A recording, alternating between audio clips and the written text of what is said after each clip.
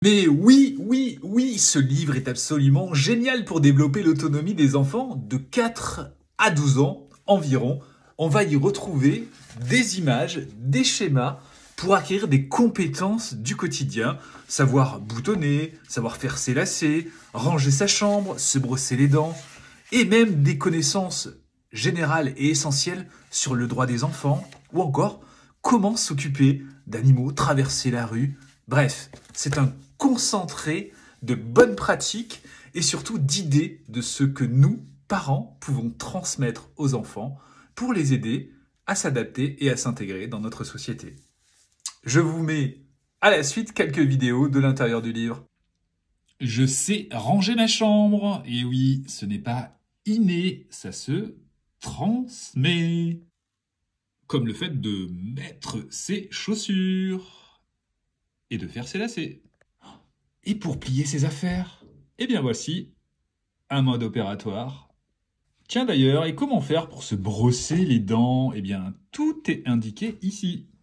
Parce que la sécurité, c'est important, je peux aussi apprendre à traverser la rue. Ce livre propose aussi de faire connaissance avec les droits que possèdent les enfants.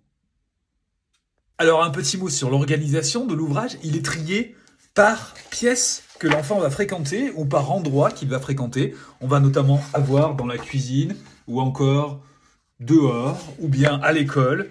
Et ainsi, chaque activité va être reliée à ce lieu. Dans la cuisine, nous trouverons notamment éplucher des fruits, retirer des noyaux, utiliser des couverts, couper du pain. Dans la maison, ça va être trier mes déchets, remplir le lave-vaisselle, laver la vaisselle, nettoyer le sol. Dehors, on va apprendre à acheter du pain, à prendre le bus, à nager. Euh, à l'école, ça sera des connaissances telles que euh, donner le son des lettres, compter jusqu'à 100.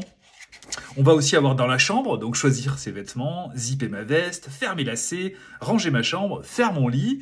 Euh, dans la salle de bain, me laver, faire des tresses, soigner un bobo, me brosser les dents, me coiffer.